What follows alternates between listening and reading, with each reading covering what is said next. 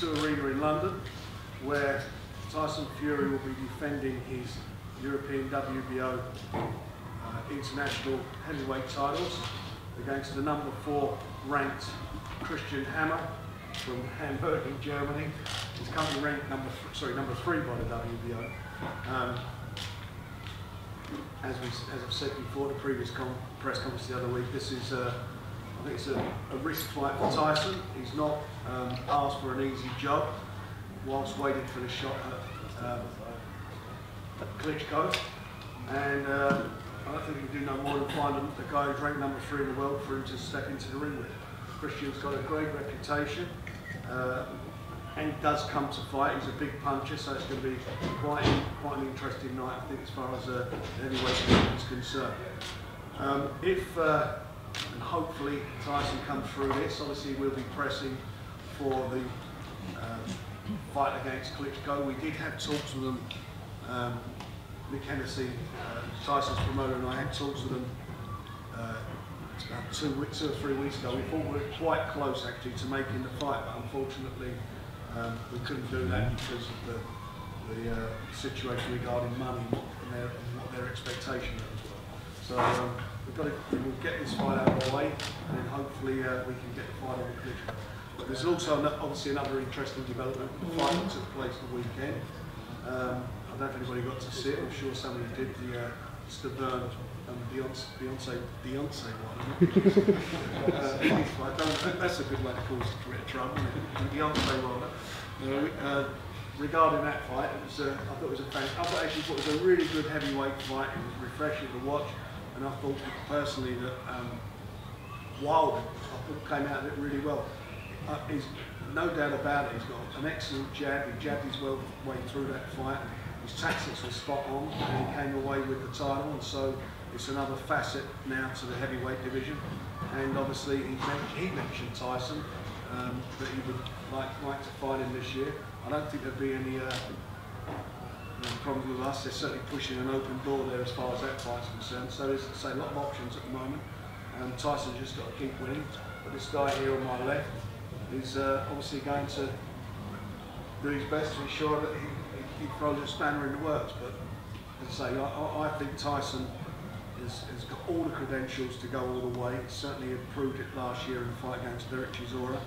He beat Derek, he beat a fighter who was on form, who had a lot of, had five wins under his belt against good class opposition, and he, he dealt with him and beat him uh, very convincingly.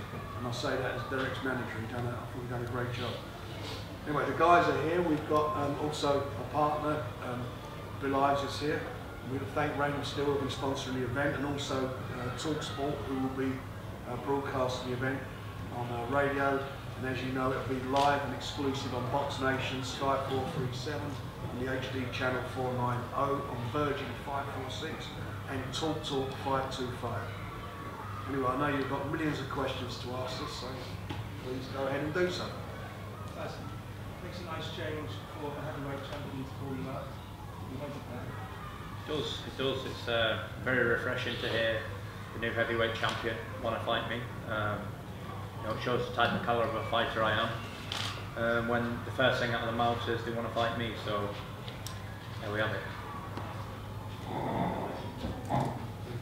Tyson, um, what do you know about your opponent? Have you seen any videos of him? Or? I, uh, I know Christian since about 2006. Uh, we both went to the World Junior Championships in Morocco which he won. I got a bronze medal.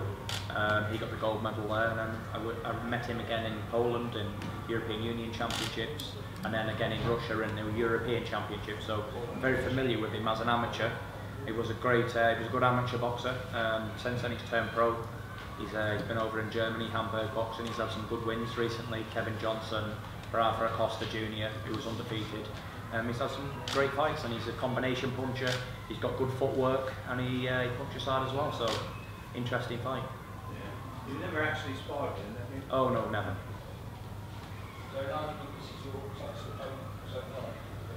Yeah, definitely. It's my most uh, accomplished opponent so far, I would say, as in from his pedigree of his amateur background and, and the way he's uh, come through the professional ranks. And he's had a couple of uh, hiccups along the way, but you know he's recovered from them and he's, he's on a winning streak. I think he's 10 in a row or something like that, won his last 10 or whatever. Undefeated since 2010, so it's coming up to five years.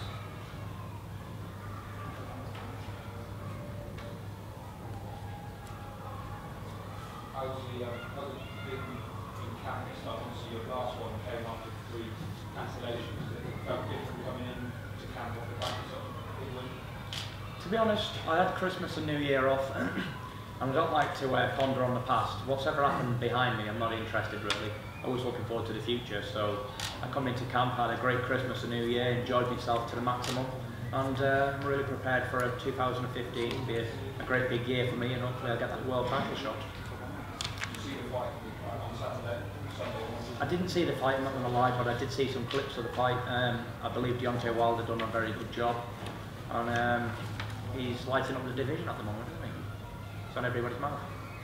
If, I know this is very hypothetical, but if you were faced with the immovable task of saying a world title fight with Klitschko or a world title fight with Wilder, who would you choose and why? Good question. I would choose. Choose Klitschko because he's number one in the division and he holds most of the belts. And then I would defend it against Deontay Wilder to unify the division. That's my uh, ideal plan, providing I get past this guy to my left. That's not me, that's you. Can we ask Christian Thomas, did he, uh, has he seen a lot of uh, Tyson's fights? Uh, you know, on, obviously on television. And if so, what does he think of him and how's he going to beat him?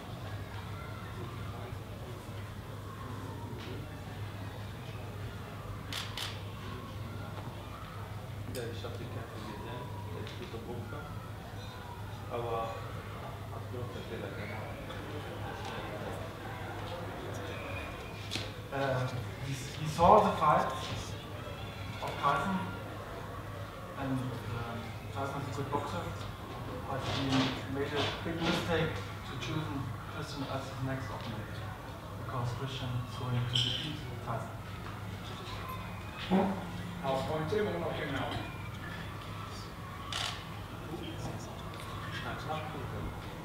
One point. He shouldn't say then, Tyson. Hopefully, you know, you can't take anyone for granted. Um, the guy's a good boxer, but you know, many people have made the same mistake, as this bill is labelled risky business.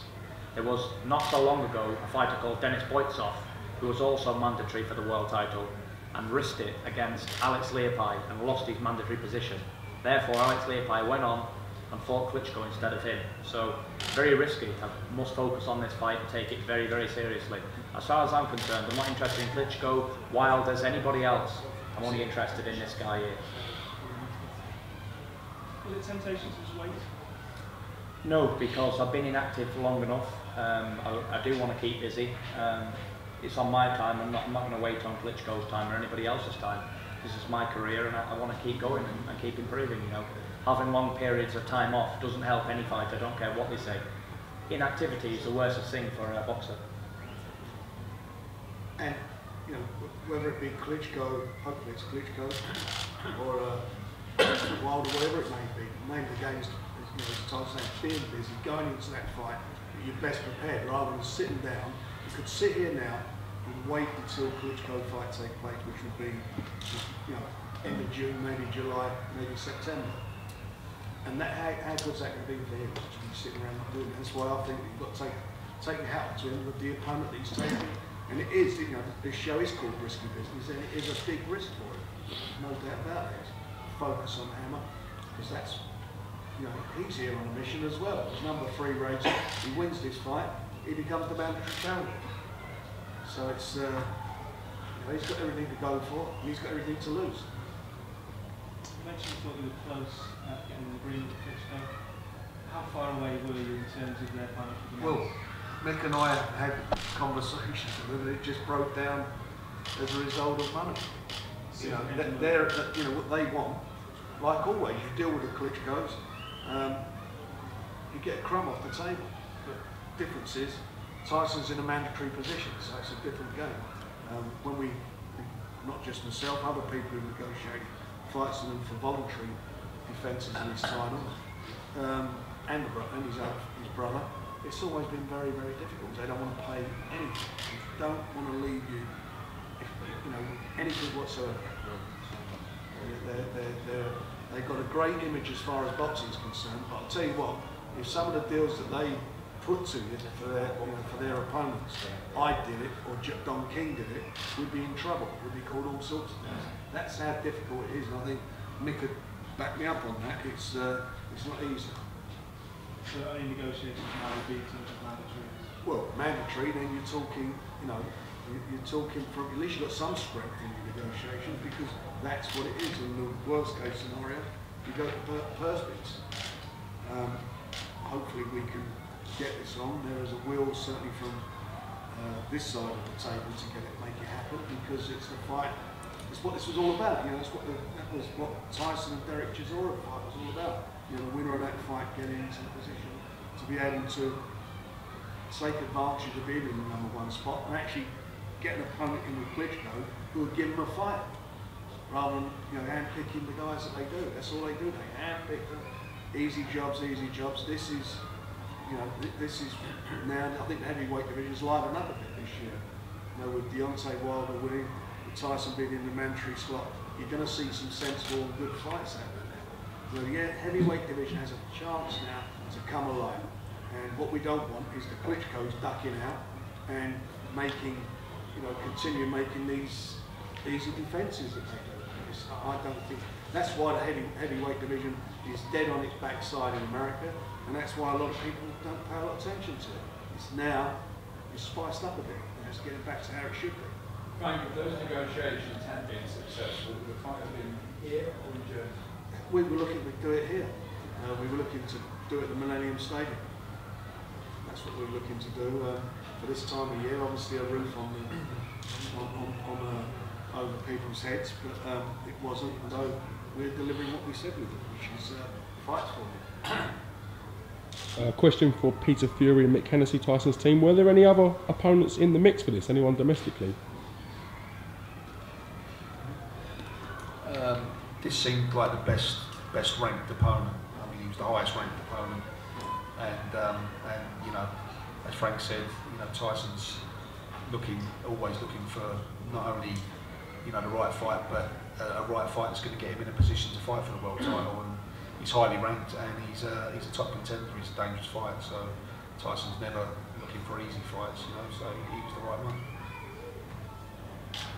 Peter, I take it you're back in training now, are you? You- Yeah, we're back in full training now. Is uh, we've been in camp for two weeks, and um, yeah, everything's going well. We're, uh, he's ready. Are are you local, are you, you camp?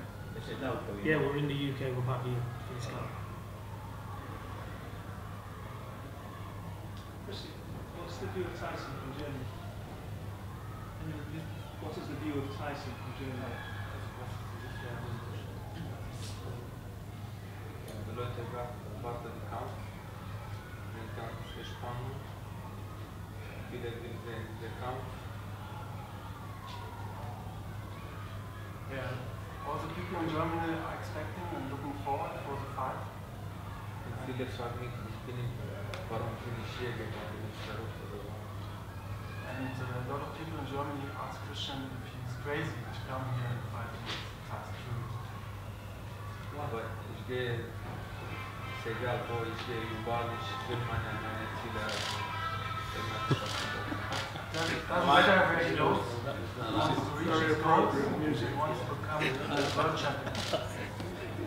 Why did I say that's crazy? Good stuff. Music.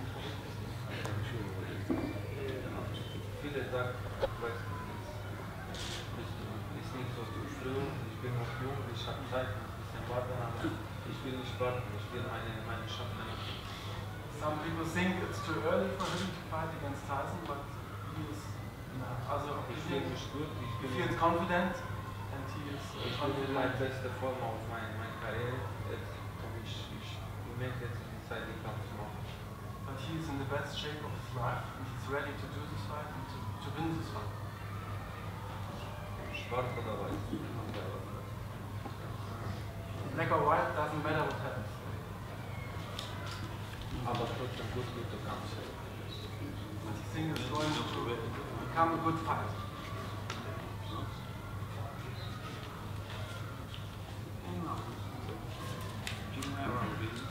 Same age as me, yeah. 26, 27.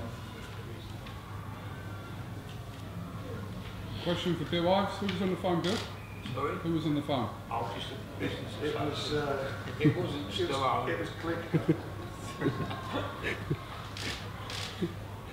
Assuming uh, Wladimir goes ahead with April, and you're looking at a longer time scale of fighting, uh, reinforce the man, if you, if Deontay Wilder offers you first, will you take it? Rather than sit around waiting? Providing I get through Christian, then Yeah. I'll take the fight for sure. So if he said you next in May, April, you take it. Frank Deontay Wilder's people said they're more than willing to come to the UK to put on the fight uh, against Tyson Fury. That must be good and bode well for you for yourselves. It's, it, it is. I mean, and uh, if that could be done. That's, you know, as I say, said earlier, you know, everyone's pushing against an open door here. All this guy wants to do is to fight for a world title, whether it be Klitschko, whether it be Wilder. Um, he obviously said his preference is Klitschko, and I can understand that because he's the best. But um, I'm certain we wouldn't turn that one down. So there, there will be, there are some talks, and there will be some talks going on to see what can be done about it. Um, Don King said before the fight at Stiverne had won, he would have come over here in a heartbeat, but that didn't happen. So, uh, you know, the most exciting fight out there, without doubt, is Tyson against Wilder. I think it's a much, much more exciting fight than Klitschko, even though Klitschko's the, you know, is the linear champion. That is a, you know, two undefeated heavyweights in, in there, uh, similar styles, same height, uh, both got fabulous jabs, you know, both uh, got a winning mentality, so uh, there's no doubt about it, that'd be a great fight. But, but this fella here who can upset the apple cart, and you know, I think Tyson's quite right in what he says, that's all he needs to focus on. But as a promoter, obviously you're looking to put on a big event, and I think that the Wilder fight would be huge, I think it'd be massive. I actually think it'd be the biggest fight in the last 10 years in British boxing, and I mean that. I think, it, you know, people love heavyweights. You know, it, it's just a massive fight. It's, it'd fill up any football ground in the country, any of them. Get excited about. Yeah, as I say, I think it's, you know, it's, it's been in the doldrums for, for the reasons I mentioned earlier. And we're in a situation now where it's, uh, you know, it, it, it is, you know, it, there's, some, there's some great fights to be made there. And they're fights that the fans would like to see. It's, uh, you know, I, I think two, 2015 is going to be a, is the renaissance of the heavyweight division. That's where we are. That's what we're going to see. Some good fights, and nobody, but nobody, should be ducking out. They should be ashamed of themselves if they do. You know, the, Brit, the British public, the, you know, the, the boxing public around the world want to see the heavyweights, the best heavyweights fight each other. None of this ducking out. Make the fights that matter. Let give the fans what they want, and give the fighters what they want. You know, that's except Klitschko. He doesn't want give the fighters what they want. I think Deontay Wilder is a fighting man, and he, as he said, you know, on in, in interviews out in, in Vegas, he would fight Tyson this year. So let's hope he's uh, somebody who's not just giving lip service. He means what he says. I believe he does. So let's hope we can get it on. Presumably that's a stadium fight as well. Yeah, I, I think, no, I'm saying that's what I think is the bigger fight. I think Dion, uh, Dion, I keep calling Beyonce. That, the press conference, and I'll, uh, I'll go. Um, Deon- Deontay Wilder, Wilder and Tyson, in my opinion, I think is a huge fight. in itself. It's the biggest fight out there, bar none. Bar none other than, I think it's the next biggest fight as far as we talk about generating income, generating uh, interest, live game, other than Pacquiao and Mayweather. And I mean that, that's not just hype talk. You can't think of another fight that would sell out, you know, a Wembley or a Millennium. It's that fight. That's the sort of fans we have in the UK. They can turn out for the big fights. It is a big fight. And as I say, I can't think of a, I can't really think of another big, bigger fight than that. And I think the Klitschko fight's a huge fight.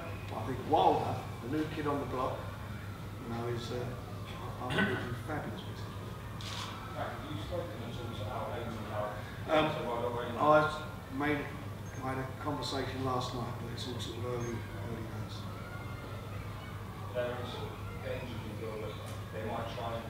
Well, they said they wanted it. You know, they- they're the ones who called it out. They're the ones who said they wanted it. As I say, I'm going to be honest with you. If, if they if we made that fight today, I'd pay pay pay them off. And I mean, with the greatest respect. And I would talk them all out of it. Go straight to it. Absolutely would do that in a heartbeat. You know, we, we pay, pay them, give them a fight in a cup, I would go straight to that. Or my advice would be to go to that fight. Why take a risk?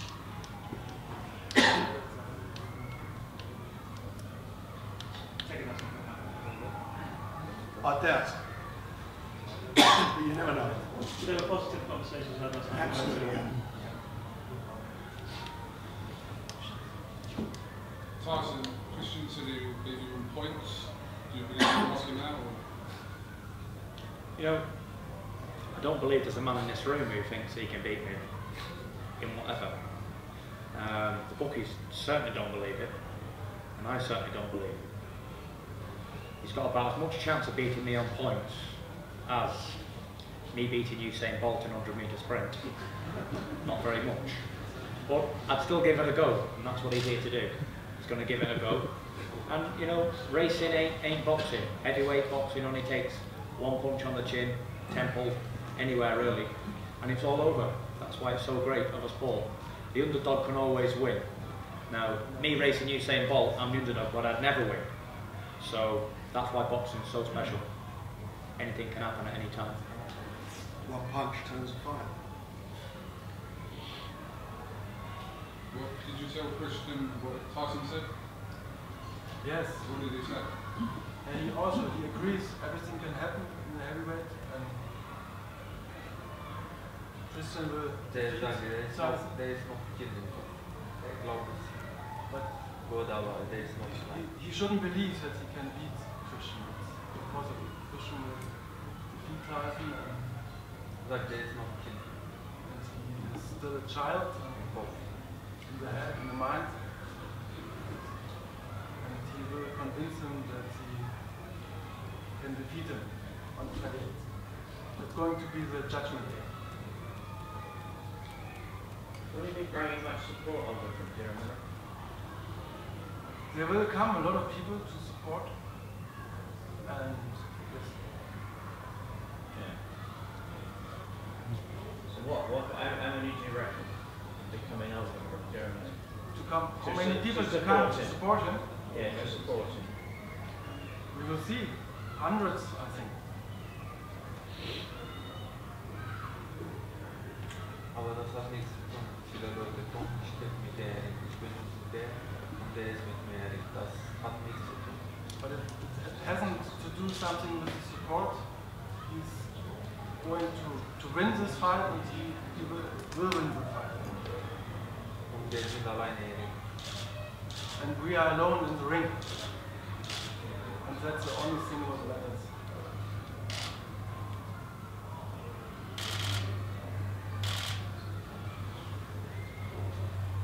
Makes one side his best friend, so he can't speak back, does it? You can. Just, just count to three.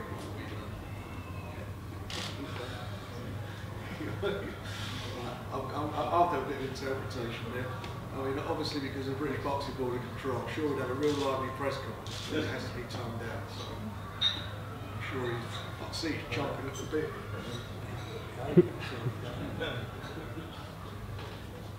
Just do it.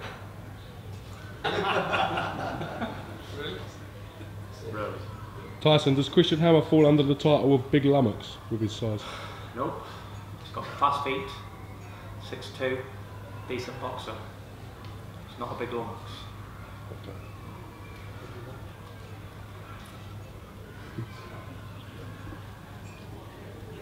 Have we got any more questions? Just one more, that's, uh, the, Klitschko from Hamburg and so is Christian, did they ever, does he know, Klitschko, you see a lot of him, does he ever spar with him? If he has spark with Well, Klitschko, so they both come from Hamburg, don't they, Klitschko, Yeah. And Christian, I just wonder whether they see each other quite often or they spar together.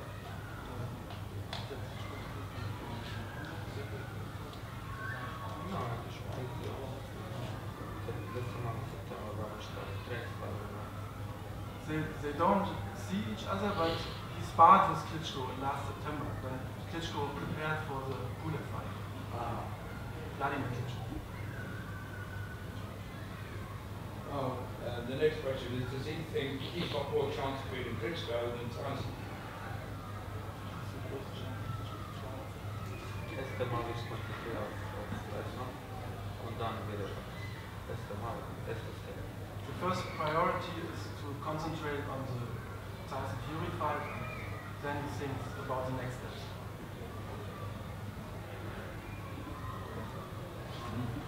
Right, uh, are there more questions on heavyweights?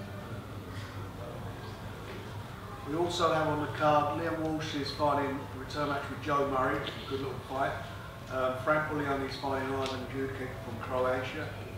Um, as mentioned before, Albert Patterson against Glenn Foot. We'll be announcing Bradley Skeet and Lewis Pettitt's um, opponents tomorrow. Thanks very much. You want to do uh, one-on-ones? Uh, the guys all here.